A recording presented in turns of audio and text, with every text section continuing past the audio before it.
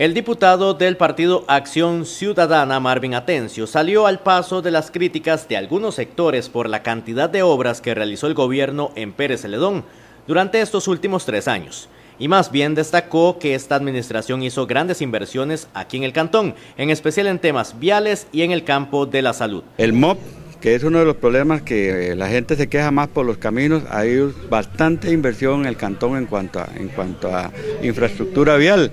Eh, después podemos hablar del INDER, podemos hablar de, de INAECO, podemos hablar de la misma caja costarricense de Seguro Social, que también se ha estado moviendo muchos asuntos, ahora hay más especialistas en el cantón, ya muy pronto estará el servicio de emergencias, se han estado construyendo algunos este, EVAIS. Atencio le puso una calificación positiva a lo realizado hasta el momento. Como lo dije algunos meses atrás, le sigo poniendo nota de 85. Le he puesto 80 la vez pasada. Para mí tiene un 80 el gobierno. Es increíble que en tres años, por eso yo estoy, estaba muy preocupado como dirigente sindical que soy también, estaba muy preocupado porque este gobierno en tres años no ha tenido ni un, ningún tipo de conflicto eh, serio como lo hubo en la administración pasada. Al mismo tiempo arremetió contra otros partidos que según el legislador buscan desestabilizar al gobierno en esta recta final.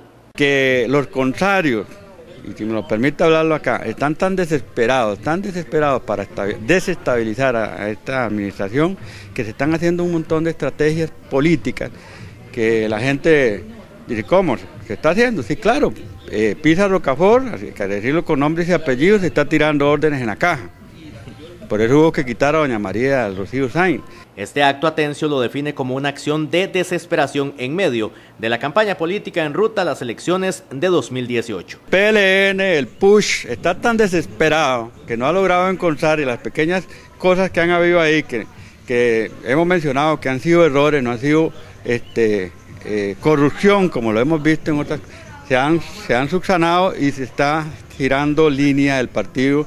El diputado dice sentirse tranquilo a pocos meses de abandonar la curul en Cuesta de Moras. Ah, en el caso mío, que ya estoy a punto de terminar, nos quedan unos 10 meses, sale uno con la cara eh, en alto, porque no le pueden a uno venir a sacar absolutamente ningún asunto de, actos de corrupción ni nada de esas cosas. Entonces esa es la línea que debemos de seguir, este, buscar buenos candidatos, los candidatos que estén bien definidos con la línea del Partido Acción Ciudadana para tener una más Costa Rica. La próxima obra que va a inaugurar el gobierno en Pérez Celedón sería la nueva área de emergencias en el Hospital Escalante Pradilla, pactada para el mes de septiembre.